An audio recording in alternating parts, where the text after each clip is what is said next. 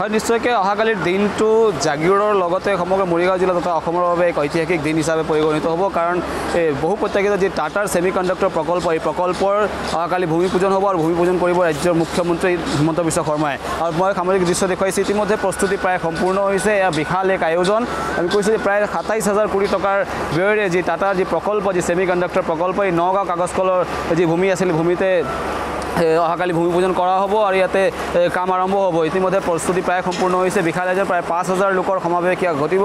যি জাগিৰোডৰ বিশিষ্ট ব্যক্তিসকল আছে বিশিষ্ট ব্যক্তিসকলক ইয়াত নিমন্ত্ৰণ জনোৱা হৈছে। এ, ইয়াত এই অনুষ্ঠানত ভাগ ল'বলৈ আমাৰ লগত স্থানীয় লোক আছে লগত কথা পাতিম যে কি ক'ব অহা দিনটো অহাকালি দিনটো এক ঐতিহাসিক দিন হিচাপে পৰিগণিত হ'ব। আহ, আমাৰ কাৰণে এটা সৌভাগ্য জাগিৰোড আৰু মৰিগাঁও জিলাৰ বাবে সৌভাগ্য যে তাত ইমান বৃহৎ প্ৰকল্প আমাৰ জাগিৰোডবাসীৰ কাৰণে উপহাৰ দিছে। অসম চৰকাৰক ধন্যবাদ আৰু কৃতজ্ঞতা জনাইছোঁ। লগতে মুখ্যমন্ত্ৰী আৰু হিমন্ত বিশ্ব মুখ্যমন্ত্ৰী ডাঙৰীয়া হিমন্ত বিশ্ব শৰ্মা ডাঙৰীয়া আৰু পীযুষ হাজৰিকা ডাঙৰীয়াক আমি ধন্যবাদ আৰু কৃতজ্ঞতা জনাইছোঁ।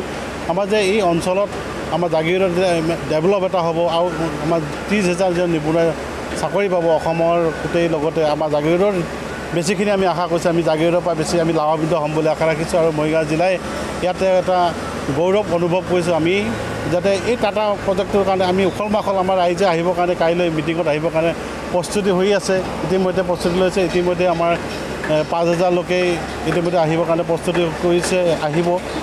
বচা বচা ব্যক্তিসকল স্থানীয় ব্যক্তিসকল যিসকল সামাজিকভাৱে জড়িত থকা ব্যক্তিসকলক তেওঁলোকক ইনভাইট কৰা হৈছে। তেওঁলোকেও আহি উপস্থিত হ'বহি। আমি ধন্যবাদ কৃতজ্ঞতা জনাওঁ। আমি জাগিৰোডত আমি এনেকুৱা এটা প্ৰকল্প পাই আমি খুবেই মৰিগাঁও জিলা ভাৱে গৌৰৱ অনুভৱ কৰিছোঁ আমি জাগিৰোডবাসী হৈ। ধন্যবাদ।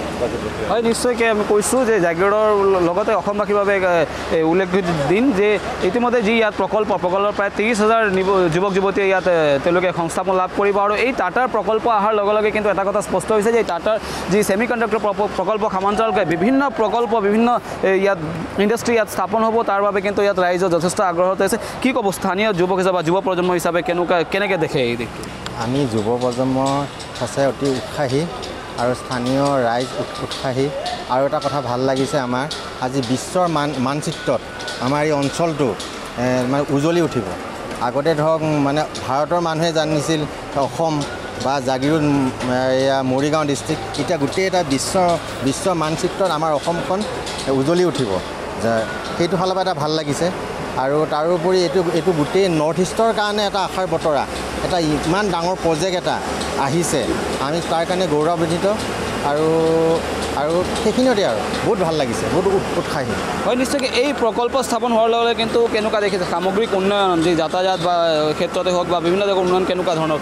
আমাৰ আমাৰ অঞ্চলৰ আমাৰ জাগিৰ অঞ্চলৰ বা মৰিগাঁও জিলাতেই যিটো ব্যৱসায় দিশটো খুব উন্নত হ'ব বা ভাল এটা পৰিৱেশ সৃষ্টি হ'ব স্থানীয় যিবিলাক যুৱক যুৱতী আছে তেওঁলোকে ব্যৱসায় কৰ্মসংস্থাপন আৰু ইয়াত নিবনুৱা যিখিনি সমস্যা সেই সমস্যাখিনিৰ লগত জড়িত হ'ব পাৰিব। খুবেই আমি গৌৰৱ অনুভৱ কৰিছোঁ। আমি এই এনেকুৱা এটা প্ৰকল্প আমি ভবা সপোনতো ভবা নাছিলোঁ যে এনেকুৱা এটা জাগিৰোডত এই পেপাৰ মিলৰ এনেকুৱা ঠাইত এটা নতুনকৈ আকৌ এটা প্ৰকল্প হ'ব বুলি আমি আমি সপোনতো ভবা নাছিলোঁ যে আমি সেইকাৰণে পুনৰবাৰ ধন্যবাদ কৃতজ্ঞতা জনাওঁ অসম চৰকাৰক।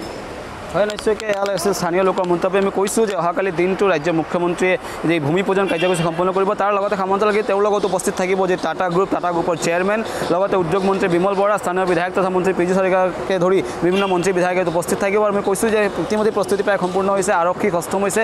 আৰক্ষী অধীক্ষক নিজে ইয়াত উপস্থিত হৈ সকলো দিশ পৰিদৰ্শন কৰিছে যে অহাকালি দিনৰ কাৰ্যসূচীত যাতে সকলো পাৰ হৈ যায় সামগ্ৰিক দৃশ্য দেখুৱাই আছে। বিৰোধী জনগোষ্ঠীয়ে এক এক বিশাল আয়োজন। ইতিমধ্যে সকলো লোক ব্যস্ত হৈ পৰিছে এই সম্পূৰ্ণ প্ৰস্তুতিৰ সম্পূৰ্ণ ৰূপ দিবলৈ আৰু এনেদৰে যি টাটাৰ গ্ৰুপৰ যি লোকসকল আছে তেওঁলোকে ইয়াত দিনে ৰাতি নিশাই উপস্থিত আছে তেওঁলোকৰ কামখিনি সম্পাদন কৰি আছোঁ। আৰু এনেদৰে অহাকালি দিনটোৰ বাবে অপেক্ষাৰত ৰৈ আছে সকলো ৰাইজ যে অহাকালি যি উল্লেখযোগ্য দিন যি জাগিৰোডৰ ক্ষেত্ৰতে হওক বা অসমৰ ক্ষেত্ৰতে হওক যে এটা উল্লেখযোগ্য দিন যে যি ভূমি পূজন টাটা ছেমি কণ্ডাক্টৰ প্ৰকল্প তাৰ বাবে এতিয়া সকলো লোক আগ্ৰহী হৈ পৰিছে।